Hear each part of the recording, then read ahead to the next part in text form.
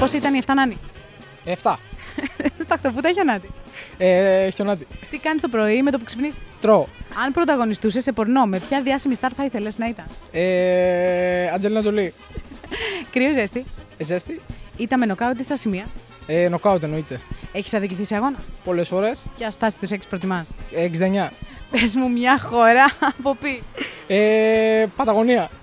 Τι κάνεις μισή ώρα πριν τον αγώνα; Ε, συγκεντρώνομαι. Ρόζι φούξια; Ροζ.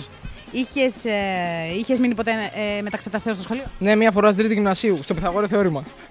Έχεις πει ψέματα για την ηλικία σου; Ε, όχι. Τάισον ή άλλη; Τάισον. Έχεις κλάψει σε ταινία; Εννοείται. Αν ήσουν αλκοολούχο ποτό, ποιο θα ήσουν; Ε, ουίσκι. Αγαπημένη κακιά συνήθεια; Ε, αργό πάντα. Καλοκαίρι χειμώνα; Καλοκαίρι. Τη γυναίκα την προτιμάς ψηλή ή κοντούλα; Ε, ξανθιά. Το τρωτό σου σημείο.